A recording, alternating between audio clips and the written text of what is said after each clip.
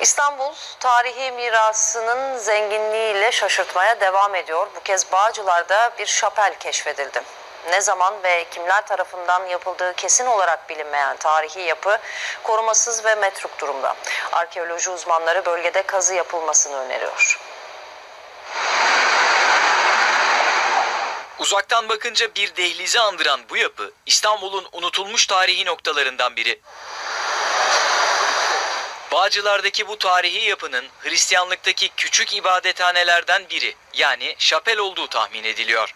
Etrafında iş yerleri, üstünde de okul bulunuyor. Ömer Bey burası normalde arabaların önüne park ettiği sokak arasında kalan bir bölüm. Siz burayı nasıl fark ettiniz? E, Ben bunu şehir haritalarında araştırma yaparken fark ettim. Haritalarda bazen bir iz oluyor, çeşme yazıyor, şapel yazıyor falan. Orada şapel olduğunu gördüm. E, görünce buraya gelip bakmak istedim. E, zaten böyle yürüdüğümüz vakit burada beton bir duvar var. Buraya geldiğimizde farklı bir mimari unsurla karşılaşıyoruz. Bağcılar'da da çoğu insanın bilmediği bir nokta.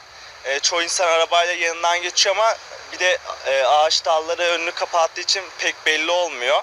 Arkeolog Yavaşçay bazı eski haritalarda yapının Ortodokslar için kutsal su anlamına gelen Ayazma olarak gösterildiğini de belirtiyor. Zaten Osmanlı'nın son döneminde burada bir Rum köyü varmış bu bölgede.